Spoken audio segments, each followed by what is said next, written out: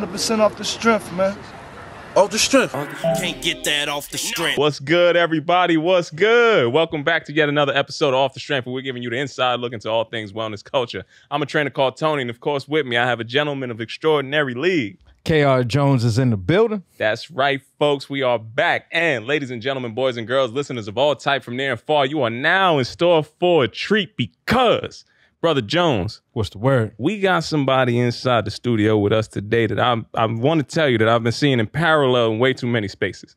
Well, we'll speak on it. I'm talking about we got the Latinx community standing. Okay. I seen some of my big homies shouting this brother out. I was like, wait, hold on. We got the the the Puerto Rock Warriors, the Boricuas out here. I see my Jamaican Boricua, homies out baby. here. Yeah, I seen some homies out here all the way up top. I seen the BX native. I'm talking about Yeah, way up there, but this man has been shaking the block in damn near every borough that's outside, bro. Understood. I'm talking about we got to get a drummer some, bro. Uh, no, really. Really get a drummer some. We got Anthony Anderson in the house. Let's make some noise one time, bro. Hey.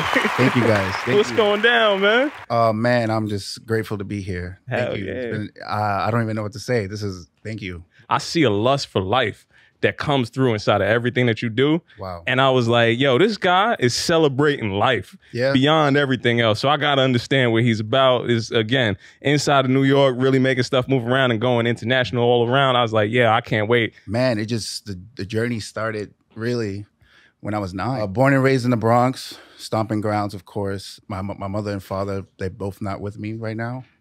But uh, they they paved the way for me. Really, Mhm. my dad gave me the opportunity and just really showed me visually how to have the passion for drumming. Yeah.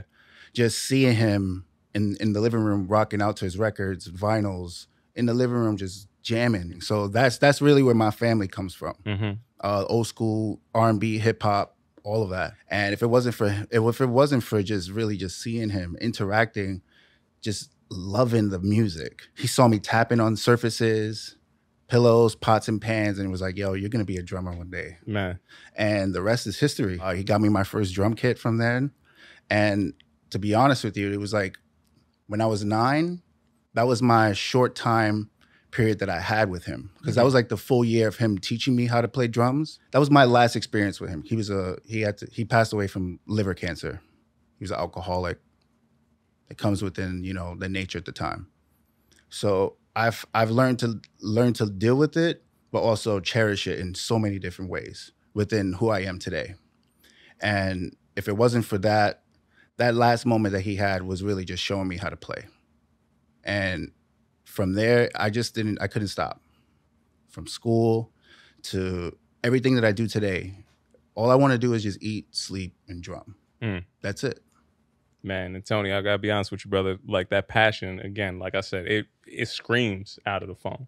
It screams Wow. out of the videos that I'm watching. It comes across there, and there's a pride and there's a sense of, you know, you you everything that I saw was telling me that you're doing this for a bigger reason. And I didn't really understand what that was, but I really do appreciate you, you know, lending a lens into that whole life and that that atmosphere. And I do want to get into that a lot more and understand it. But again, brother Jones, how you feeling just hearing that first wave coming through here? Everything that you said, uh, I couldn't agree more. And you know, doing my my research and and really diving into the the articles that I read about you, the stuff that stuck out to me was the line that said, I- "I'm playing loud enough so that he can hear me." Yeah. Mm, you know and and i think that's the the real key to it uh knowing that you know sometimes we lose people in the physical. That, that spiritual aspect is always going to be there. Yeah. and that, and if i can tap into that spirit and, and it can come out through me and i can play this thing that i love like that's when you are really uh, aligned with what you're supposed to be doing.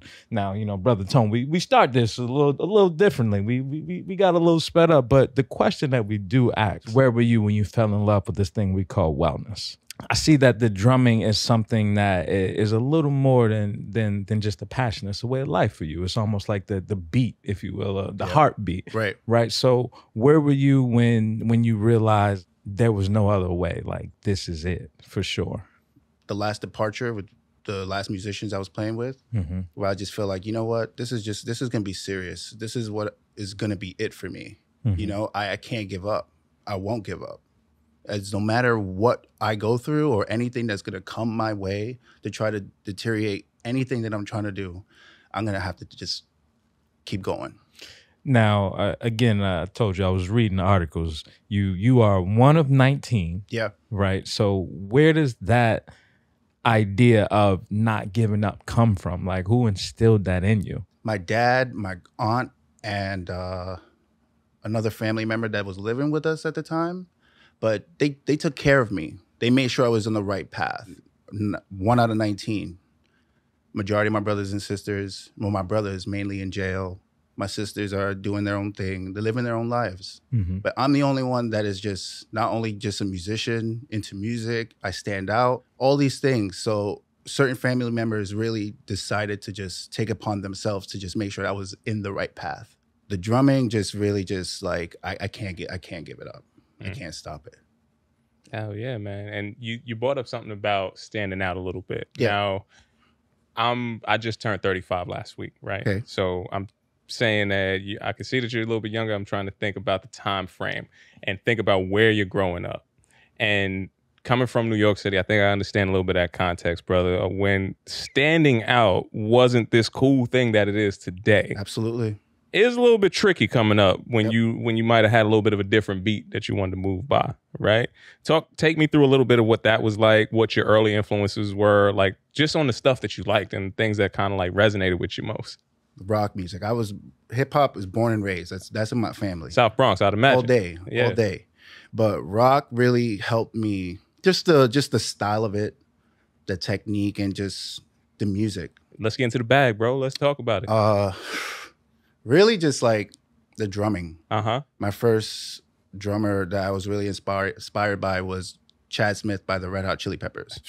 Can't stop this feeling when it's in you. Exactly. You got what? And and and, then the the rest the rest is history. And Travis Barker's my greatest idol. You better be. You better pay attention to Blink 182 out here. you understand what he's talking about? Cause I too, I hear you. I hear you. I was I, was somebody who didn't fit in either.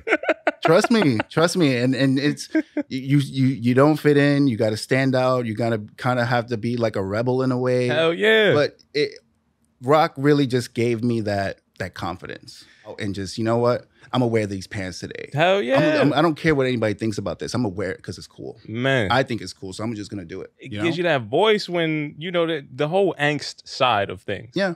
When you just kind of like, all right, here's where everybody got a nice little neat bucket that you can fill and talk about these feelings and emotions. But here's these other emotions that I don't really have a good box to put in in a container to say, here's where we're gonna put this.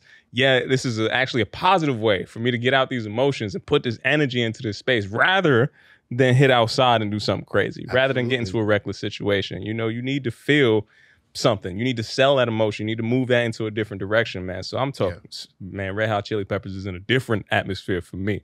That's one of the bands that I have not seen Mhm. that's on my list of places and people that I gotta see before I check out of this world. same That's yo, we going to the concert, yes bro. Just Look at that. know- See? yo like We can end the interview right here. Uh, it's been a fantastic episode. That's it. That's all you need. That's all I need.